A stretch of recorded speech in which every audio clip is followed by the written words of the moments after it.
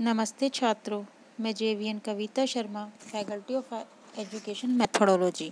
छात्रों, आज हम अभिज्ञान शाकुंतलम के बारे में अध्ययन करेंगे।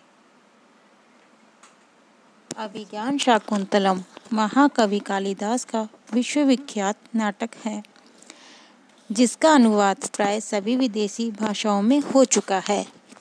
इसमें राजा दुष्यंत तथा शकुंतला के प्रणय विवाह विरह प्रत्याख्यान तथा पुनर्मिलन का एक सुंदर कहानी है।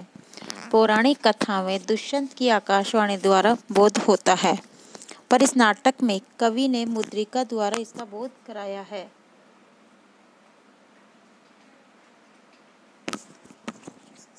इसकी नाटकीयता, इसके सुंदर कथोपकन, इसकी काव्य सौंदर्य से भरी उपमाएँ और स्थान स्थान पर प्रयुक्त होती हुई समायोजित सुक्तियाँ हैं और इन सबसे बढ़कर विविध प्रसंगों की ध्वन्यात्मकता इतनी अद्भुत है कि इन दृष्टियों से देखने पर संस्कृत के अन्य नाटक अभिज्ञान शाकुंतल से टक्कर नहीं ले सकते। फिर अन्य भाषाओं का तो कहना ही क्या? तो यह सबसे ज़्यादा अच्छा है। यह संपूर्ण पृष्ठ या इसके कुछ अनुभाग हिंदी के अतिरिक्त अन्य भाषाओं में भी लिखे गए हैं। आप इनका अनुवाद करके इसका अध्ययन कर सकते हैं। शकुंतला द्वारा दुष्यंत की पत्नी थी, जो भारत के सुप्रसिद्ध राजा भरत की माता मेनका अप्सरा की कन्या थी। भारत में लिखा है, शकुंतला का जन्म मेनका अप्सरा के गर्भ से हुआ था, जो इस वन को में छोड़कर चली गई। वन में शंकुतो पक्षियों आदि ने हिंसक पशुओं से इसकी रक्षा की थी। इसी से इसका नाम शकुंतला पड़ा।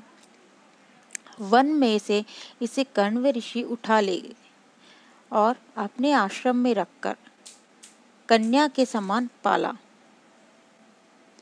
एक बार राजा दुष्यंत ने अपने साथ कुछ सैनिकों को लेकर शिकार खेलने निकले, घूमते फिरते।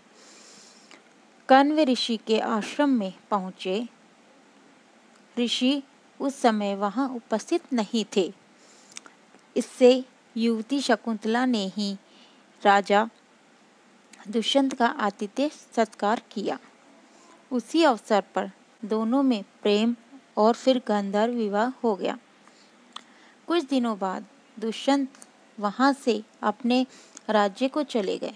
कण्व मुनि जब लौटकर आए, तब ये जानकर बहुत प्रसन्न हुए।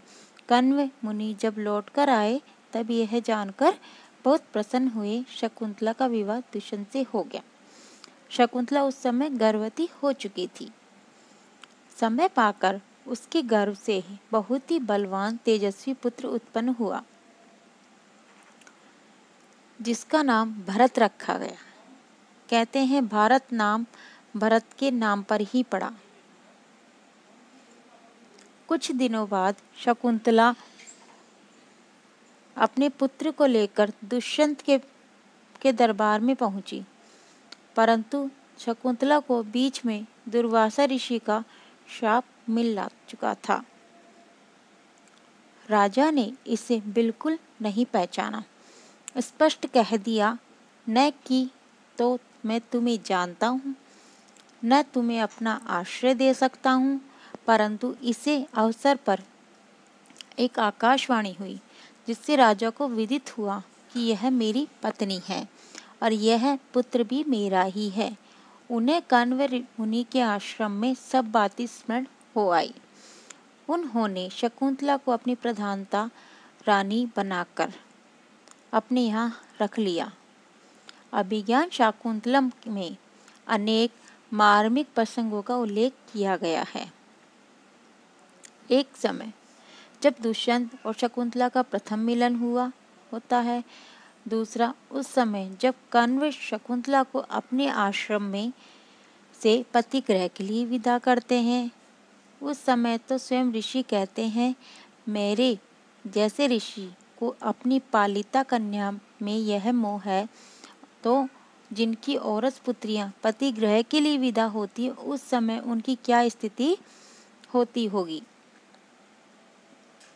तीसरा प्रसंग है, शकुंतला का दुष्यंत की सभा में उपस्थित होना, दुष्यंत को उसको पहचानने से इनकार करना, चौथा प्रसंग है उस समय का जब मछुआरे को प्राप्त दुष्यंत की नाम वाली अंगूठी उसको दिखाई जाती है, तथा पांचवा प्रसंग मारीची महर्षि के आश्रम में दुष्यंत शकुंतला के